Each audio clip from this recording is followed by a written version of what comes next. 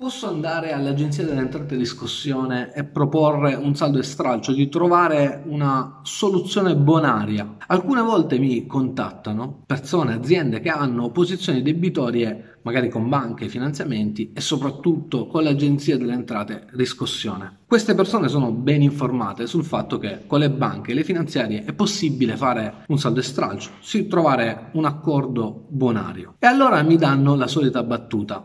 Mi dicono: Ma perché io non posso andare all'agenzia centrale di riscossione e mettermi d'accordo? Magari stiamo parlando anche di cifre importanti. Alcuni persino mi dicono, alcuni personaggi famosi ho sentito che hanno trovato l'accordo a fronte di milioni di euro di richiesta da parte dell'Agenzia delle Entrate, accordi con l'Agenzia delle Entrate, appunto, quindi a saldo e stralcio. Sono passati da 40 milioni a 4 milioni, da eh, 1 milione a eh, 200 mila euro. Bene ragazzi, la prima cosa che dobbiamo dire è fare una distinzione tra Agenzia delle Entrate e accertamenti e Agenzia delle Entrate riscossione. L'Agenzia delle Entrate riscossione appunto riscuote, è l'ex Equitalia, ok? Che riscuote per conto dell'Agenzia delle Entrate. L'Agenzia delle Entrate rappresenta il fisco. L'Agenzia delle Entrate e Riscossione rappresenta una società di recupero crediti per conto dell'Agenzia delle Entrate. Sono due cose completamente distinte e l'accordo tu lo puoi trovare, quindi si chiama accertamento con adesione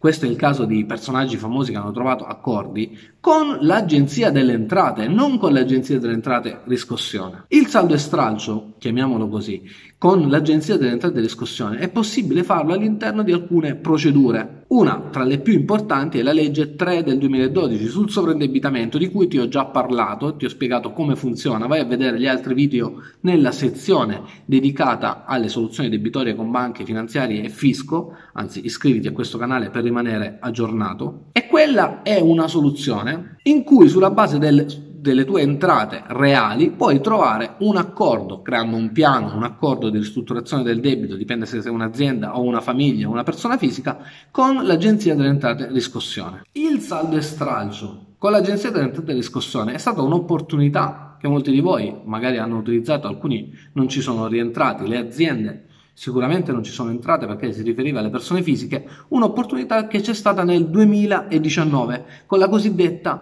pace fiscale. Quindi, morale, se ricevi un accertamento da parte dell'Agenzia delle Entrate, che è un'altra cosa dall'Agenzia delle Entrate di riscossione, puoi trovare un accordo. Puoi aderire, si chiama accertamento con adesione, e trovare un accordo con loro. Con l'agenzia delle entrate di discussione non puoi trovare un saldo e non puoi patteggiare, come dicono molto, andiamo lì, ci accordiamo. Non funziona così, perché ci sarebbe una disparità di trattamento tra te e un'altra azienda o tra te e un'altra persona puoi solo accedere tramite la legge sul sovraindebitamento e trovare un accordo con le condizioni che pone la legge sul sovraindebitamento. Questo è un video molto veloce perché questa è una domanda che mi viene posta spesso, spero di essere stato chiaro. Come al solito l'invito è quello di iscriverti a questo canale, ci vediamo al prossimo video. Ciao!